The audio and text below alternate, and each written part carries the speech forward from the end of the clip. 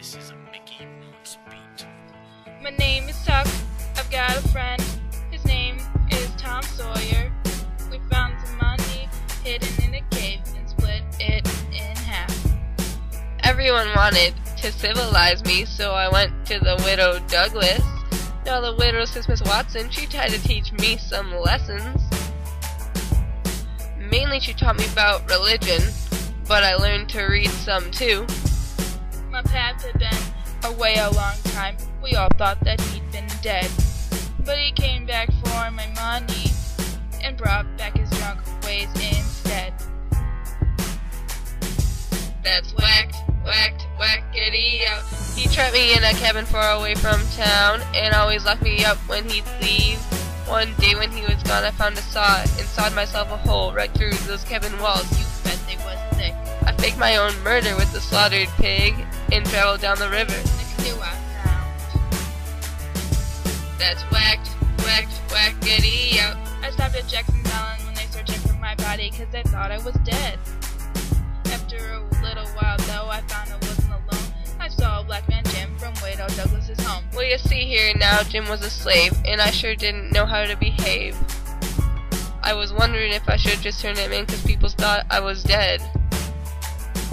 So I decided to just lay low with that, and we became real good pals. So we built a raft of nine wood logs and made a plan to head for the Ohio River. But before we left, I went up to town to get some information.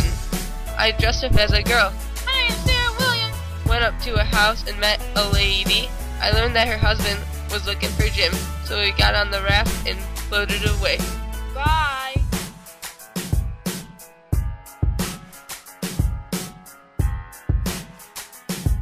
That's whacked, whacked, whackity out. As we sailed away down the old Mississippi, we encountered a mighty thick fog.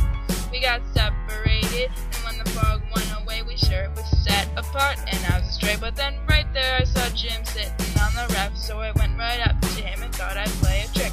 I told him he was wrong. As we continued down the river, one day a steamboat came along. We thought it'd go around us, but instead it went right through. We both jumped off in time, but once again we got split up. I was worried for the poor guy. He was nothing but a slave. He was a smart guy, though, and I knew he'd find his way. On my journey all alone, I met a feuding family. A war broke out, and in the midst of it all, one of their slaves had brought me to Jim. Hiding in the woods, yeah, hiding in the woods. So we headed onward, and I found two runaways. They were begging for their savior, claiming to be a duke and Dauphin. So they joined us on the raft, and we kept sailing on, and we stopped right at the next town. The king claimed to be a pirate, the duke made some wanted posters, and we left with some money.